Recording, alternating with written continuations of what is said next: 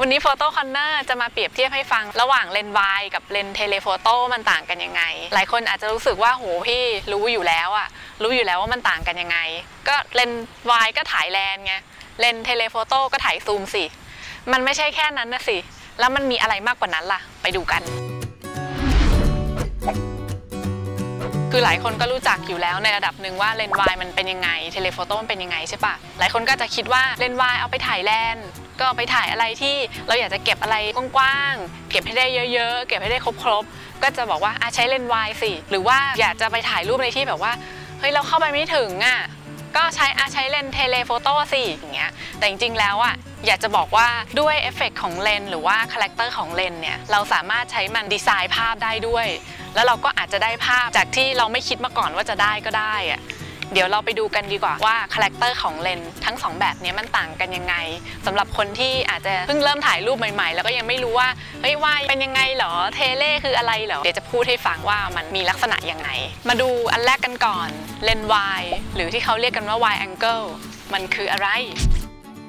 เลนส์วายมันก็คือเลนส์มุมกว้าง เป็นเลนส์ที่มีทางยาวโฟกัสสั้นกว่าเลนส์ปกติ และมันก็ครอบคลุมพื้นที่ได้มากกว่าเลนส์ปกติเหมือนกัน ดังนั้นลักษณะที่เราได้จาก การใช้เลนส์แบบนี้ถ่ายภาพก็คือว่าสิ่งที่อยู่ในเฟรมเนี่ยมันจะถูกถีบออกไปไกลๆตัวเรา มันจะออกห่างจากตัวเรากว่าความเป็นจริง ภาพที่ได้จากเลนส์ประเภทนี้เนี่ยก็จะดูกว้างดูไกลกว่าความเป็นจริง วัตถุที่อยู่ใกล้เลนส์ก็จะดูตัวใหญ่ผิดสัดส่วนกว่าสิ่งที่อยู่ไกลเลนส์เขามักจะบอกว่าเลนส์ประเภทนี้เอาไว้ทำอะไร เอาไว้ถ่าย land ถ่าย landscape ถ่ายเก็บวิวทิวทัศน์ หรือว่าเก็บวัตถุอะไรก็ตามที่มันใหญ่ ๆ สิ่งก่อสร้างใหญ่ ๆ ตึกสูงๆ แม่น้ำหอไอเฟลอะไรที่เรารู้สึกว่าเลนส์ทั่วไปมันเก็บไม่หมด อย่างเงี้ยเขาจะใช้เลนส์ประเภทเนี้ยมาถ่ายรูปพวกนี้เพื่อเก็บ detail ให้ได้อยู่ในเฟรมเฟรมเดียว ต่อมา telephoto lens หรือที่เราเรียกกันว่าเลนส์ tele มันมีลักษณะยังไงคือจะให้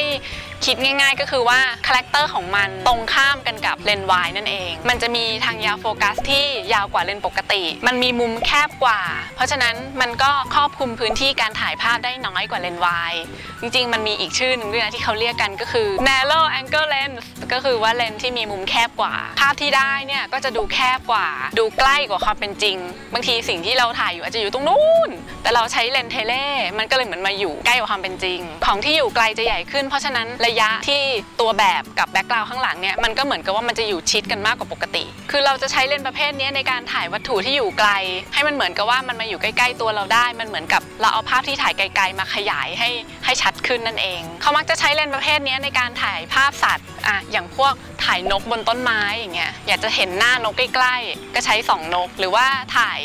ภาพกีฬาเราอาจจะอยู่บนสแตน มีการเตะฟุตบอลอยู่ข้างล่าง เราก็ใช้เลนตัวนี้เจาะอาจจะอยากเห็นหน้าเบคแฮมชัดๆอะไรอย่างเงี้ยเบคแฮมนี่เก่ามากเลยนะ เอานักเทนนิสดีกว่าเฟเดอเรอร์เราก็ใช้เลนส์ตัวนี้ในการถ่ายหน้าเฟเดอร์เลอร์เห็นภาพอะอยากถ่ายพาราดอนมีใครอยากเห็นหน้าพี่พาราดอนใกล้ๆเนี่ยก็ใช้เลนตัวนี้ถ่ายพี่พาราดอนได้ เราก็จะเห็นหน้าพี่พาราดอนทำไมถึงอยากจะเห็นหน้าพี่พาราดอนใกล้ๆเดี๋ยวจะให้ครูเนี่ยครูเนี่ย ทำให้ดูถ่ายให้ดูว่า character ของเลนส์ทั้งสองตัวนี้มันต่างกันยังไง เดี๋ยวสถานการณ์ที่เราจะถ่ายคือว่า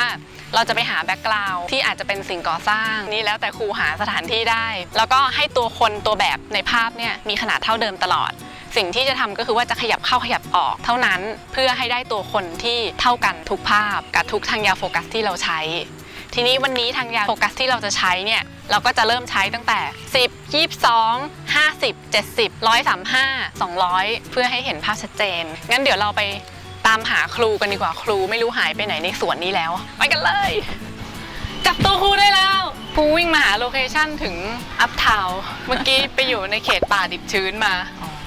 รู้สึกชื้นไปหมด ตอนนี้ครูพร้อมที่จะถ่ายรูปให้เราดูแล้วใช่ไหมพร้อมแล้ว พร้อมมากเลยเนี่ย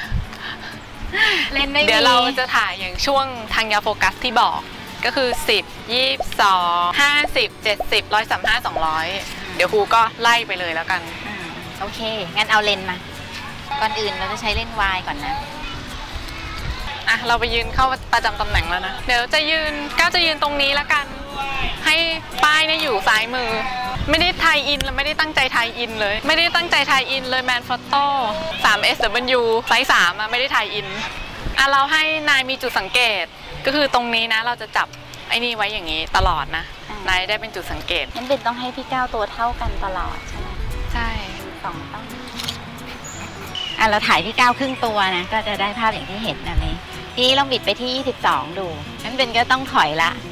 22 แต่ว่าเอาให้ตัวเท่าเดิม อะต่อไปเปลี่ยนเป็นเลนส์50 อันนี้คือที่ทางยาวโฟกัส 50 ก็จะทำให้เราต้องถอยออกมา อันนี้ 70 200 อันนี้ถ่ายที่ทางยาวโฟกัส 70 ก่อนนะ อุ้ย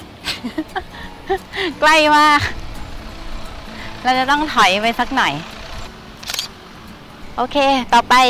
ไปที่ทางยาวโฟกัสที่ 135 ต่อมาอันสุดท้ายแล้ว มาที่ทางยาวโฟกัสที่ 200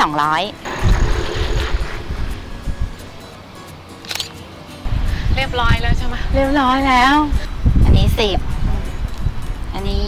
22อืมอันนี้ 50 อันนี้ 70 อันนี้ 135อันนี้ 200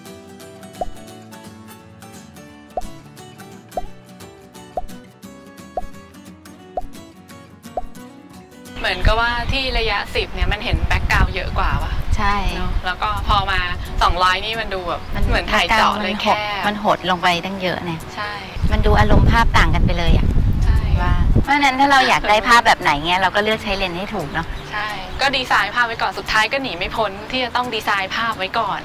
ถึงจะรู้ว่าเราจะหยิบเลนส์ตัวไหนมาใช้ถูกต้อง จากที่ถ่ายไปเมื่อกี้เราจะเห็นว่าที่เลนส์วายภาพที่เราได้เนี่ยมันเหมือนกับว่าฉากหลังเนี่ยมันกว้างกว่า แล้วมันเหมือนกับว่าตัวแบบกับฉากหลังเนี่ยมันอยู่ไกลกันมากกว่า ในขณะที่ telephoto เนี่ยฉากหลังที่เราได้นี่มันจะแคบกว่าเลนส์วายแล้วก็ตัวแบบเนี่ยมันเหมือนกับว่า อยู่ติดกับฉากหลังมากเลยมันเหมือน ลักษณะว่ามันถูกดูดให้เข้ามาอยู่ใกล้กันนะลักษณะนั้นก็จะเห็นแล้วว่า character ของเลนส์ทั้งสองแบบ หรือเอฟเฟกต์จากมุมของเลนส์ที่เราได้เนี่ยมันแตกต่างกัน เราก็จะสามารถเอาไอ้เอฟเฟกต์ตรงนี้เนี่ยมาสร้างสรรค์ภาพได้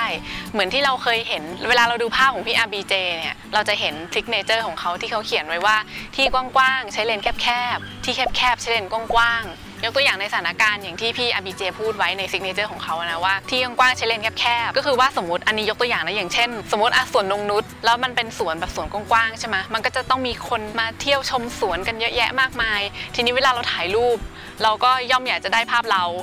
ที่อยู่กับสวนที่รู้สึกว่าเฮ้ยฉันอยู่ในสวนสวยจังเลยอะไรอย่างงี้ใช่ไหมถ้าเราใช้เลนส์วายอะสมมติเราใช้เลนส์วายถ่ายรูป ภาพสวนนงนุษสิ่งที่ได้คืออะไร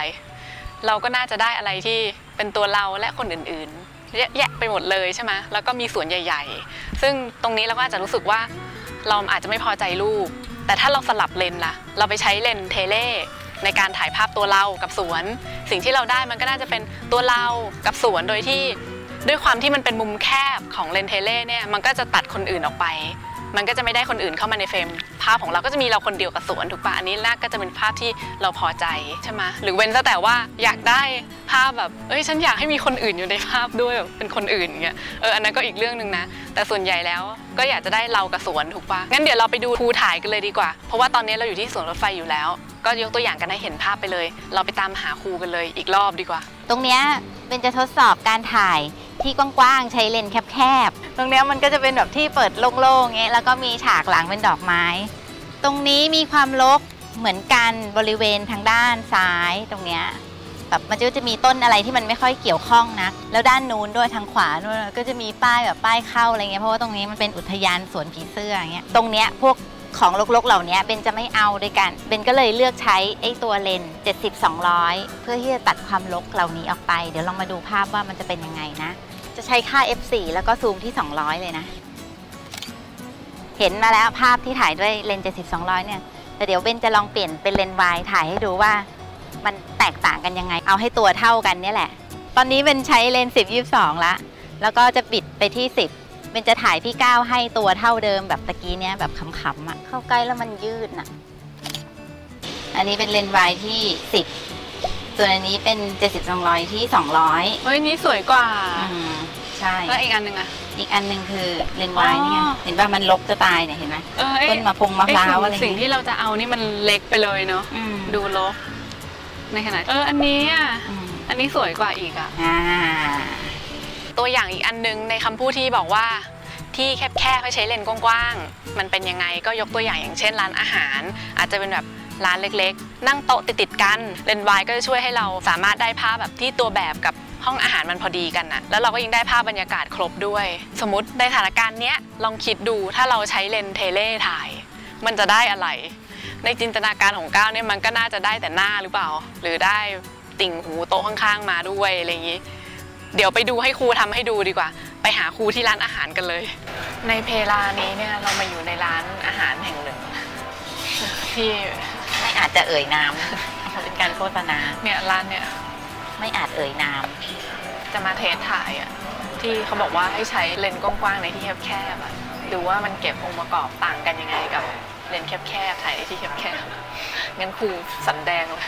ที่จะใช้สำแดงวันนี้เนี่ยเดี๋ยวจะเริ่มที่เลนส์วายก่อนแล้วกันนะ เพราะว่ามันเป็นที่แคบมากตอนนี้รู้สึกว่าแคบเหลือเกินขยับตัวไม่ได้ว่ะอะเดี๋ยวเบนจะใช้เลนส์วายนี่แหละในที่ที่แคบอย่างนี้เนี่ยมันจะได้ภาพออกมาเป็นยังไงไปดูกันเลย ค่า f ที่ 4.5 ISO ร้อยขอบิดให้มันวายนิดหนึ่งแล้วกันนะไอ้เจ้าลอดเนี่ยมันเราจะเอาออกไปก่อน มีคนโทรเข้ามาพอดีตอนเราเอาแนบหู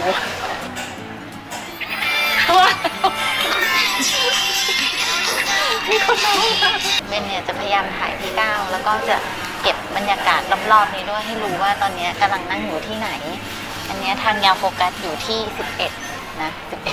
11 การที่เราบิดไปประมาณ 11 เนี่ย แล้วถ่ายในที่แคบๆเนี้ยมันก็จะได้ character ของเลนส์ wide ด้วยคือได้ทั้งตัวแบบแล้วก็เก็บบรรยากาศรอบๆ แล้วจะสังเกตว่าที่เห็นเนี่ยคือเบนนั่งอยู่ใกล้กับพี่ก้าวมาก มันเหมือนกับว่าพอถ่ายด้วยเลนส์อันนี้แล้วเนี่ย มันจะผลักไอ้ตัว background พวกโต๊ะเก้าอี้ของเราเนี่ยให้มันออกห่างไปจากตัวแบบมาก คือถ้ามองด้วยตาเปล่านี่คือโต๊ะเก้าอี้ที่อยู่ใกล้พี่ก้าวมากเลยนะแต่นี่คือแบบพอภาพที่ถ่ายออกมาได้เนี่ยมันจะกลายเป็นแบบนี้ คือคล้ายๆกับว่ามันทำให้มันทำให้เราเป็นส่วนหนึ่งของภาพ ได้ง่ายในสถานที่แคบๆแบบเนี้ยคือบางทีเรามาถ่ายภาพร้านเหมือนเราว่าเราก็อยากอยากบอกให้ให้โลกรู้ว่าเรามากินร้านนี้เปิดเราไปร้านกาแฟระดับ high class อย่างเงี้ยเราก็ต้องอยากบอกให้โลกรู้เรามาแล้วอย่างเงี้ยถ่ายแบบใช้เลนส์แคบใช้เลนส์อัลฟ fix ห้าสิบแต่พี่ว่าเก็บไม่ได้อย่างเงี้ยแล้วพี่ว่ามันดูจัดองค์ประกอบง่ายด้วยเพราะแบบเฮ้ยเราเป็นส่วนหนึ่งในภาพอะไรเงี้ย work workก็เหมาะกับสถานที่บางสถานที่บางสถานการณ์แล้วแต่ว่าภาพที่เราจินตนาการอ่านี่เดี๋ยวเดี๋ยว เดี๋ยวจะลองถ่ายอันนี้ให้ดู ครูพี่ว่าไม่ต้องระดับนี้เราเอาเลนส์ห้าสิบมา พี่ว่าครูก็ถ่ายไม่ได้ เราจะระดับนี้เลยเหรอลองดูไว้ค่ะเผื่อน้องๆหนูๆเขาอยากเห็นอันนี้คือเจ็ดสิบสองร้อยซึ่งเป็นพยายามจะสองที่เก้าเดี๋ยวมาดูซิว่าจะโฟกัสได้ไหมถ่ายที่เจ็ดสิบหนึ่งค่ะก็จะได้แบบนี้นะคะ ไม่ใช่ว่าถ่ายไม่ได้อะ ถ่ายได้แต่ไม่รู้ว่านั่งอยู่ที่ไหนเว้ยมันก็ได้ไงแต่มันได้ความสวยของนางแบบแทนคือมันกลายเป็นว่ามันไม่รู้ว่าอยู่ที่ไหน แล้วเนี่ยเจ็ดสิบนะถ้าอยากถ่ายสองร้อยต้องวิ่งออกไปตรงประตูข้างนอก นี้ถ่าย portrait นะมันไม่ได้บรรยากาศเท่าไหร่ก็เลยแต่มันก็เป็นองค์ของ portrait แต่มันเห็นแต่หัวเหมือนกันนะพี่ว่าใช่คือมันจัดอะไรมากไปกว่านี้ไม่ได้อีกแล้วเอาเหรอจะลองไหมอะอะอะคือนางแบบต้องสวยมากใช่ไหม ไอ้ยะคือนอกจากนางแบบจะต้องสวยมากแล้วค่ะกล้องก็ต้องทุ่มเทมากด้วย นี่ท่าฉันคงไม่ได้อุบาทว์มากใช่ไหมทำไมฉันต้องแบบนี่มันเป็นอย่างนี้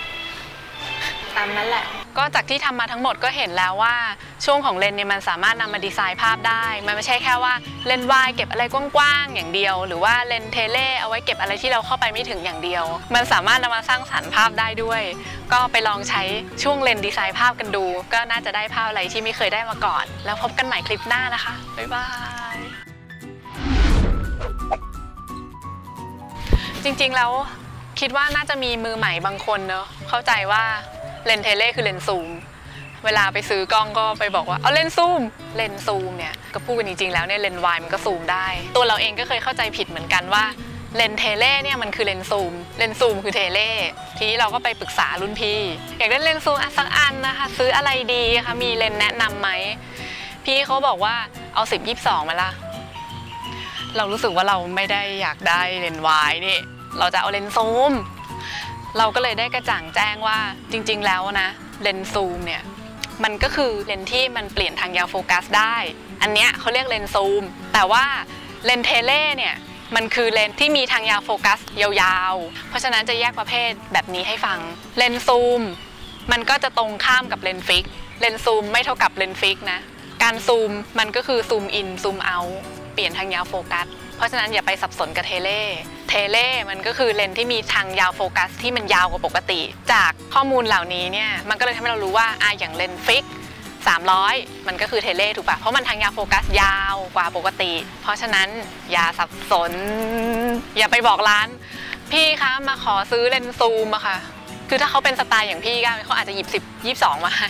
แล้วเราก็อย่าไปโกรธเขาอ่าเพราะฉะนั้นเราก็รู้แล้วนะเรามาสรุปดีกว่าเนอะ จะได้ไม่งง เลนส์ซูม ไม่เท่ากับเลนส์ fix โอเคปะเลนส์ซูม ตรงข้ามกับเลนส์ fix เลนส์ tele เป็นได้ทั้งซูม และเป็นได้ทั้ง fix โอเคเนาะ